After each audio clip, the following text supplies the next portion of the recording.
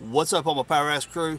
Several months ago I put a backup camera in an Impala and I had a commenter say, dude, I'm disappointed. I thought you was going to put a backup camera and one of these contraptions in a Jeep. I thought, you know what? Backup camera, if I can see my trailer hitch ball, I can back up to my trailer easier. That is a good idea. So guess what we're doing today? I'm going to show you how it's done.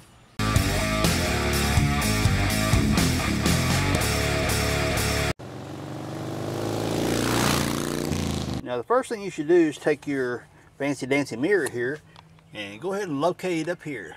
Because what that's going to do for you is going to allow you to establish your pigtail length coming off here. Pigtail meaning where you can plug in your USB ports, your GPS, and all that fun stuff. And so you can neatly tuck your wiring wherever you need to, if along through here and down around your dash or whatever you need to do.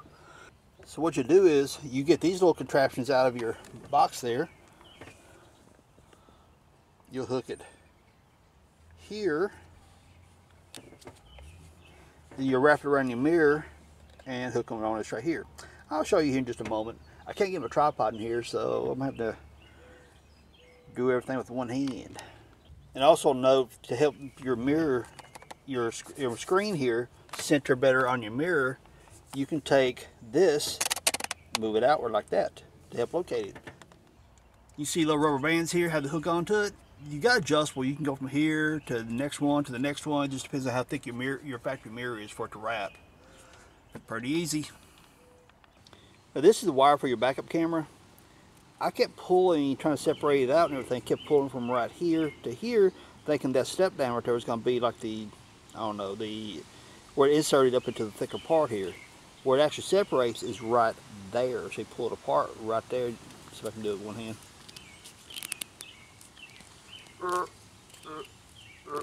Okay, let me unplug it, then I'll be right back with you. And see, as you can see there, that's where it separates. You got the little four pins up inside there. This part right here is what's gonna, that plugs into your screen, mirror, whatever you want to call it. Then we'll run this harness back the Jeep, uh, toward the back of the Jeep. Now, this red wire right here, I'm to splice onto that and bring it forward. What that red wire is for is to hook onto your reverse lights. Whenever you put your rig or whenever you put your Jeep in reverse, it powers that wire up right there, which activates your backup camera. What I want to do, I want to manually activate my backup camera for a couple different reasons. I'm mostly putting this one in here for a test bed for a rust bucket, my play rig, because this particular camera does uh, 1080p both front and rear. No super high quality video both front and rear. So when I'm out wheeling and stuff like that, I can use the mirror on um, Rust Bucket to catch some really good uh, footage and stuff. So by manually activating that wire right there, I can flip it back, forward, whatever I want to do to catch cool shots instead of relying on my reverse switch to trigger it. And also, whenever I, on this rig, this is my 91 my daily driver rig. On this right here, if I want to back up to my uh, trailer, hook onto the trailer, I can manually flip the switch, which will trigger my backup camera and I'm to try to set the camera up to where I can see my trailer hitch ball. That way I can line up with my trailer and not having to have somebody to help me back up. And as you see here, I've got my wires plugged in. This is the power. This is your rear backup camera here, and this right here is for the GPS module. The GPS module, I've just got it hanging up here right now because I'm kind of on the fence where I want to put it. Um, I'm really seriously thinking about sticking it right underneath this right here and just keeping my cord nice and neat tied up and tuck it in behind the mirror right here. And probably zip tied to those little straps or something. Because I don't know, little voices in my head tell me to keep the GPS module up high. So that's probably what I'll end up doing. It just seems logical to me, I guess. But if you want to put it under your dash, you can do that as well. To keep my wires in check, keep them all nice, neat, and tidy, I got them running through this uh, tubing right here. And I want to stick it up along the windshield up like this right here. I'll be using these things right here to snap that into. But one thing I do recommend is because, well, obviously it's not exactly clean. Get your paper towel, clean it, clean it out for a while, then come back with alcohol, alcohol paper towel, and wipe that down real well. Therefore, these pads will stick much, much better. Now, if you gotta ask what kind of alcohol, it's just plain Jane old isopropyl rubbing alcohol like you pick up at the store. Nothing special. It does a wonderful job of cleaning stuff like that. Look how good that's sticking. Now as you see this corner right here where I pushed it up into the windshield, stuck this one here, go ahead and slide this one onto the tubing. Push that corner up in there then stick this one. It'll kind of hold that up there because also your roll bar is going to kind of keep it there. So in the event if you ever need to pull this right here you can always stick one up in there or you can actually stick one up in there now if you wanted to. But it'll ride like that. You stick that one there before you stick this one push your tubing upward up into that corner right there just stick it it does just fine brought my wiring out through here I tucked it along the dash here now some people say you can cram it back in behind the dash right here, make it hide, you know, hide it completely, which you can. I'm not pulling that dash out for this, just not happening. Now eventually I'm gonna replace that seal right there, and when I do that, I may consider tucking it in behind the dash. But as it stands right now, not happening. So, there's another one of those clips. There's another one of those clips, it wraps up underneath the dash, I got it zip tied underneath there. But what's gotta happen now, here's my wire. This is, like I said, this is the camera wire here, and it's got to run all the way along the tub, come right back through here, all the way around through here, go down that hole right there. Then it'll come down through all this right here, come down under this, and come out through here somewhere. Now here's the wire that activates the camera. Typically this red wire right hooks up to your backup light. So whenever you throw your rig in reverse and you get ready to back up, it activates it turns on your backup lights back there, which energizes this wire, which tells your camera there to say, hey, I need the review camera. I want it activated by a switch. So therefore, I soldered, I soldered a heat shrink me a wire to it, and you see the red wire just kind of stringing along through there. But I gotta get all that through this. That's gonna be fun. Let me show you guys a little trick. Now, most cases on your rig, you're going to have this right here stuck underneath your door. It tucks underneath the door through here, goes in through here, then you got this little bit of a plastic trim right here that your wiring is run through this. It goes in back in behind here. So pull my seat forward. Goes in back in behind there, curves up. I'm running my hand up along it right here. Then it kicks over that way. Goes in behind y'all. And then you got more wire loom tucked in all the way through y'all gets right there and runs down through that hole. So I'm to tuck all my wiring inside that. So for one, I don't have to add another uh, wire loom to the bundle. And two, there's so much room inside this, it'll fit in there with no problems.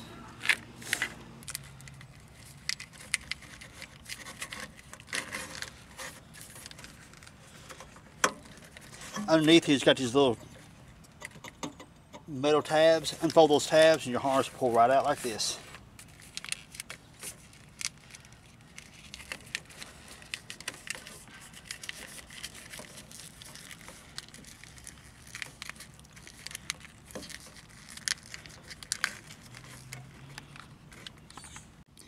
Once you get through running through the loom, you stuff your wire down that hole right there. You just feed, keep feeding, keep feeding it. And eventually what you, you might get lucky enough to see it drop down. But what I end up having to do is go up inside here, find the wire, then pull it down so it drops down so I can run it across the tailgate now. Okay, to activate my backup camera, I've got this cheap little surface mount push button switch here. Came with the, uh, like all those wiring harnesses for your LED bars. So, it's got the little sticky pad, so I'll pull it off, stick it where I want it. But we got three wires. I know which one it is simply because I fool with these switches enough to kind of know what's going on because you got your uh, LEDs inside here. You, the switch itself only needs to complete a circuit. So you only need those two wires to complete the circuit. For your LEDs to work, you need the ground. Black's going to be the ground. So I only need these two wires right here. But if you didn't know that, how would you figure it out? And my dad just left in his yellow TJ. Anyway, back to the video.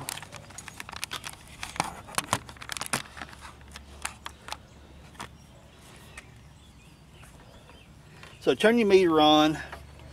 You see you got all these different settings. What we're looking for is continuity. So go from off to here.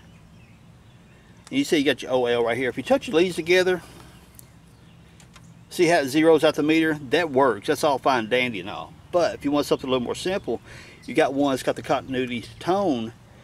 Hit select. Hear the beep.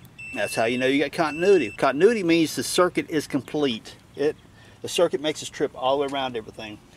So let's just say I don't know what I'm doing here. Which wire is? Let's go for the black to the yellow. Get over here, yellow. I got nothing. Okay, let's push a button like we're gonna turn the switch on. Push. Yellow. Oh, I still got nothing. Okay, let's go to yellow, uh, let's go to black and red. Got nothing. Go black, red again. Still got nothing because why? I don't have tone, okay? Now, let's try, hmm, instead being all dramatic here, yeah. Let's go to red and yellow. Red, yellow. Ah, hear that? Hear that? I got tone. Push the button. I don't have tone. Now let's see if my fingers can be contortionist for a moment. Put that one there. Oh, oh, oh. I did this a minute ago. I forgot how the heck I did it. Put one here and one here. Okay? That way the wires are touching. Listen real close.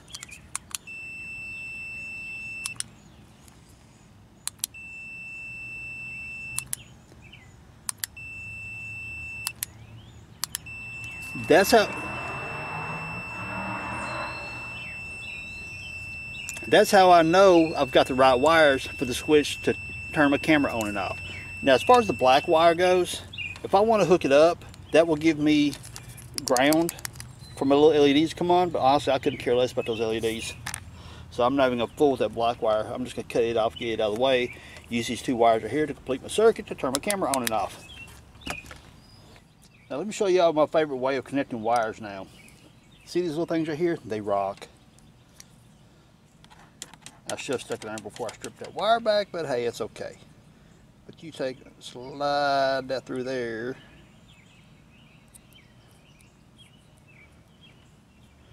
Take your wire. Now in the case of the switch right here, we're just completing a circuit. It does not matter which wire you use. So for kicks and giggles, we'll just go red to red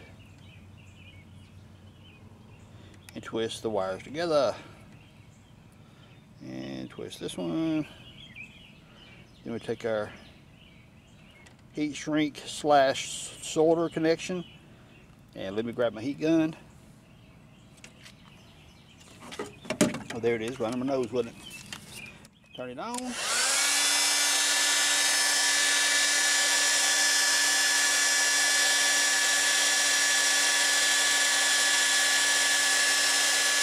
It's more than just heat shrink.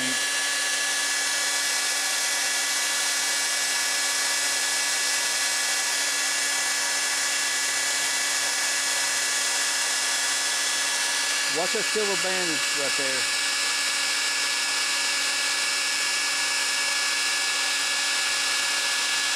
And there it goes.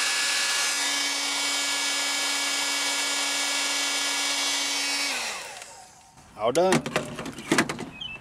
These new connector, these new heat shrink things I'm using, right there and right there is an adhesive that glues itself to the wire which makes it super strong and it keeps water and junk from getting inside there. The silver band that's in the middle right there, what that does is solder. It's super low temp solder. So once it hits a certain temperature, it melts, flows into the wire. So it solders and heat shrinks and glues all at the same time. Those things rock. Love them. Now here's the little connectors that I'm using. They come in various different sizes. From big ones, mediums, little ones, little bitty bitty ones. Look. Four different sizes you know, quantity of each, solder and seal wire connectors. I'll put a link where you guys can go pick this stuff up if you want. But these things right here make life so much easier. It makes building your wiring, whether it be lights or whatever the case may be, makes it much more reliable. These things are great. Okay, I've been sitting scratching my head trying to figure out what the heck is going on. Because every time, okay, right now, the switch is turned off. My little continuity tester, it does not beep. So therefore the circuit is broken. That switch is turned off, okay? I'm gonna hook this to the circuit here underneath the dash that's gonna give it power. And what should happen? Nothing. Because this has power, but it has to cycle through that switch to get up to the mirror to activate the backup camera. The little lines that helps you back up and stuff. Uh, with that being said, it's turning on the darn lights and it won't turn off the backup camera as long as it's active, but the switch is turned off. Now, like I said, I've been scratching my head trying to figure this out, and I finally hit me as to what's going on. This switch right here has those little LEDs inside of it, okay? What it's doing is the circuit in here that controls those LEDs is putting through just a few little milliamps. I mean, we're just talking minuscule of voltage going through that. It's just enough to trigger the camera to go into backup mode. Okay, let me reach underneath here, plug this wire right here in. I'll show you what I'm talking about. Now, as you can see, it's in backup mode. And it will not come out of backup mode. I don't care if I turn that switch down or on, off, whatever. Because again, the circuit inside that switch, because it has that little LED inside of it, is feeding through just enough voltage to trigger this thing to kick on. So I gotta find just a plain Jane switch with no LED on off indicator type stuff in it. But see that line right there? When I back up to my trailer, that's going to give me a line right there. Say, okay, I need to go this way, I need to go that way to hit right up top of the ball, boom, line it up. Now I've got the wire unhooked right now. I unplugged it from the fuse block. Obviously, I don't really need it because I can still come in and back up right there. Come back on, come back on. And it's, yes, it's touchscreens. This mirror is so freaking sweet. Anyway, back on, uh, back on the topic here. I can still see my trailer hitch ball right here. What's really cool, I can take and pan this up and down. That way I can see you know, what's directly in behind me or traffic, whatever, for if I'm not backing up. If I need to back up to a trailer hitch, to a trailer, I just pan it down a little bit and boom, there's my trailer hitch ball. And right now I've got it set in 1080p. It does 1080p both front and rear. And you see the little coordinates right there? There's my GPS module. So you got GPS built into it. Pretty sweet miles per hour. Don't know how fast you're going? It'll tell you right there. So it's 1080p, both front and rear. Both front camera and rear camera will pan like this right here, up and down. The side to side, what it does, it just turns its brightness on up and down. See, super bright, turn it down, dims it down, so on, so on, so on. I keep it about midway or so. And here you can you know, stop, start your recording uh, flip your camera front rear go boom front rear on there he goes. And if you want to go into settings mode hit here stop recording go into settings and format your SD card how much storage space you got speed miles per hour kilometers whatever your preference is GPS status. See picking up my sats satellites back that off. Volume set your volume motion detection parking monitor screensaver after 30 seconds the camera will turn the uh, front rear cameras will turn themselves off and go into just like a regular rear view mirror mode and see it goes 30 60 90 okay so or if you go into off, you'll stay on cam should stay on camera mode all the time. Or if you go off, turn the screensaver off, then your camera should stay active all the time. And there's what it does in screensaver mode. It just simply turns off all the camera stuff. Now you're back in rearview mirror mode, basically, just like a typical rearview mirror. The one thing I have to say, if you're like a super crazy perfectionist or something like that, rear view mirror, your stock rear view mirror has a nice reflection, everything you see everything uh, cleanly out back. This is still very clean, but you see my little finger paw prints all over it right there. So if you're spastic about stuff like that, that'll drive you nuts. Uh, also, the mirror itself, looking just a standard rear view mirror mode with the cameras turned off and stuff, it's got almost like it's, you would almost think it's got like a window, a window tint or something over it. It's kind of dark.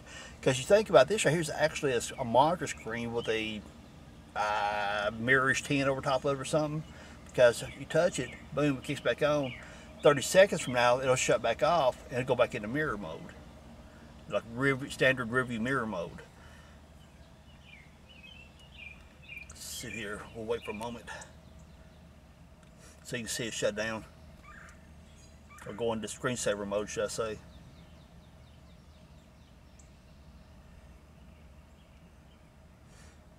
I still haven't set my time on that, so that time's definitely not right. And see, there it goes.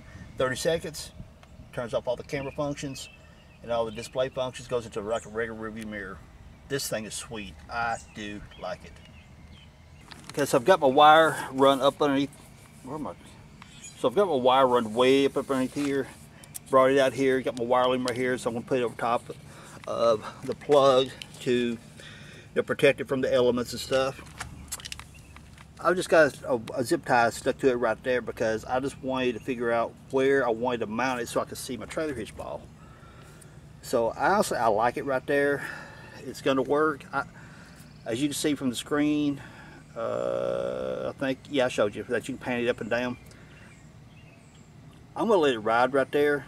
But what I'll do is probably put some two-sided tape on the back side. It comes with a two-sided tape piece also. Rock, y'all. It also comes with screws too, but for the moment, I'm, I'm just going to put two-sided tape on it, stick it with a zip tie on each side of it so it doesn't go anywhere. Because I still may play with the locations of it a little bit. Uh, and also, I kind of thought about putting it in rust buckets, so I'm not 100% sure yet. But what I didn't want to do is go ahead and start drilling holes into it and decide I want to move something later. Whenever I feel like I'm 100% happy with this location, then I'll permanently mount it. As far as having that line to guide me back to my trailer hitch ball, eh, fluff, bells, whistles, whatever you want to call it. Not a big deal to me. I still got the camera in the rear. All I got to do is hit that little button I showed you on the screen. It flips it front and rear. Not a problem. I can see what I need to see. Uh, having the lines there will just give me something to follow as a backup. Again, not a big deal. Just bells and whistles to me. Now, if you want to use that as a backup guide, as in you're backing up in a parking garage or you're backing up whatever the case may be, you got to have that one, you'll have to center your camera perfectly.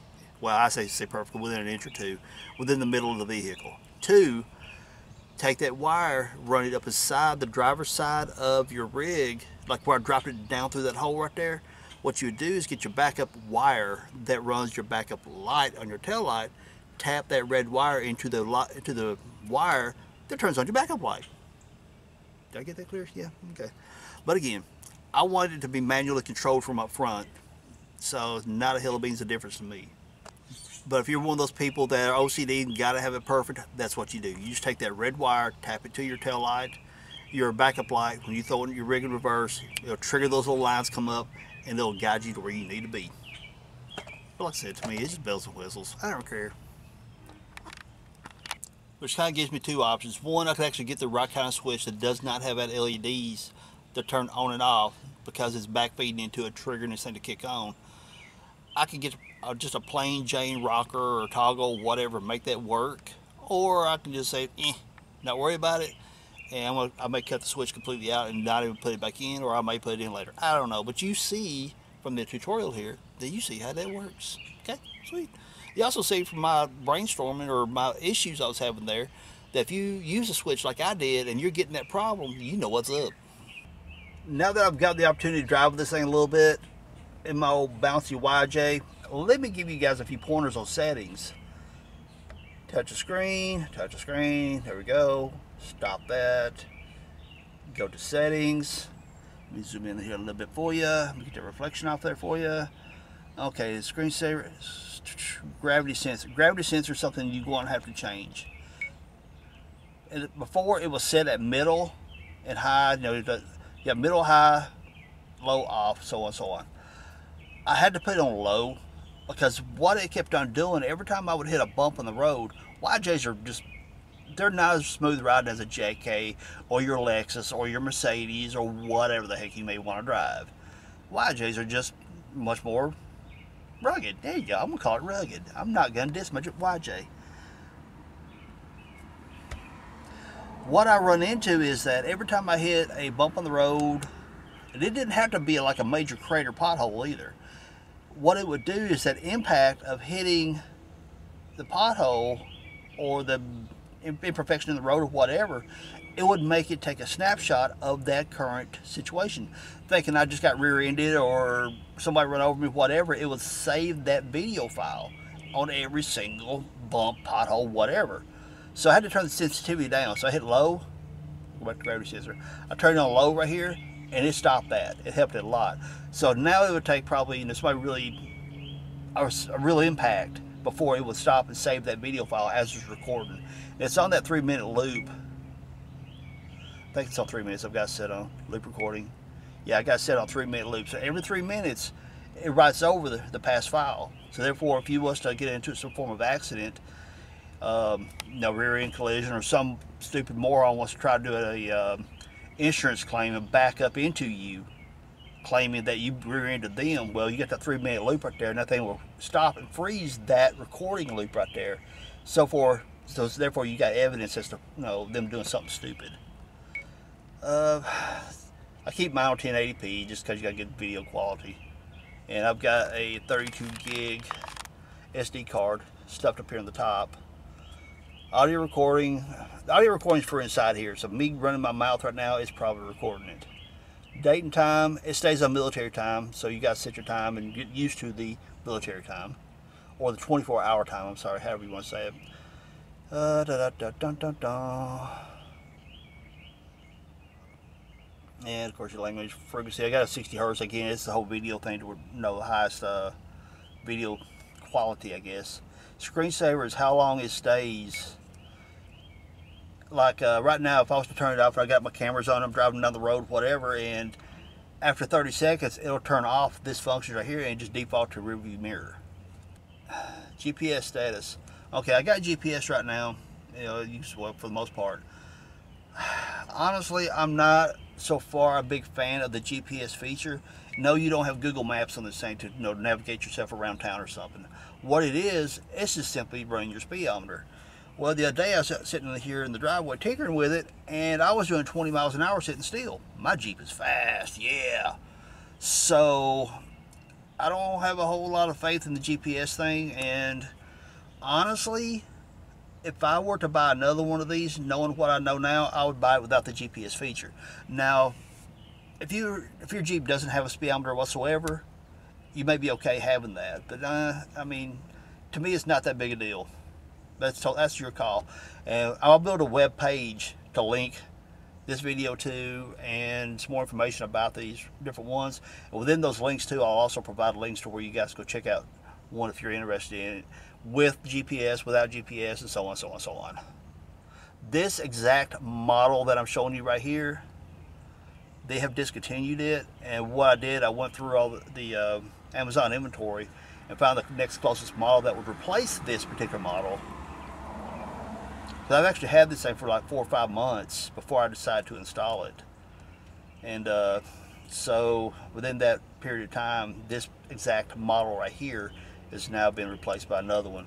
But again, you know, very good quality ones without the GPS. Now, I believe I mentioned earlier in the video that I was going to take the uh, this mirror rig right here and put it in Project Rust Bucket because of the 1080p recording. I don't think I'm going to do that, honestly. And the reason I changed my mind on that is the fact that this mirror is not waterproof. If I were to go, and if I'm out wheeling something like that, it starts raining or something like that, it's just going to kill it. And any kind of video footage I might want to get off the cameras, I won't be able to do because I want to put it up, keep from killing it, you know, because of rain or splashing through a mud hole or something.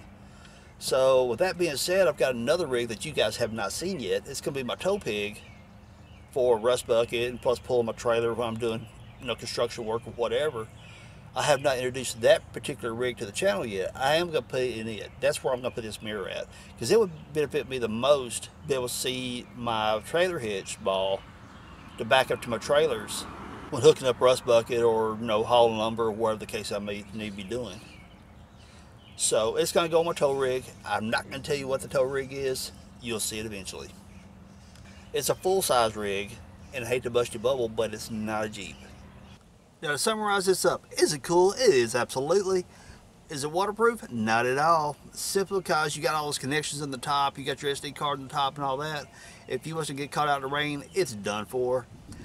But if you're, if you want one in your daily driven rig, you know, if it's just a street rig, not out wheeling or anything, it would probably be okay. All you'd have to do is take the little straps off the back of your mirror, unstrap them, unplug your little cords, tie your cords up to the top on the windshield area, just let them hang down there, stick your mirror in your glove box or wherever you want to put it to keep it safe and you'll be good to go. So in a street rig, it would actually work. You know, just watch out for the weather, that's all I gotta say. Now, to you out there that uh, was disappointed I put it in the Impala, but I didn't put one in the Jeep, there you go, bro. Done. So everyone, if you enjoyed this video, hit me with that thumbs up, subscribe if you haven't, leave me some cool comments down below, and I really, really, really do appreciate you guys hanging out with me. Peace. Later, y'all.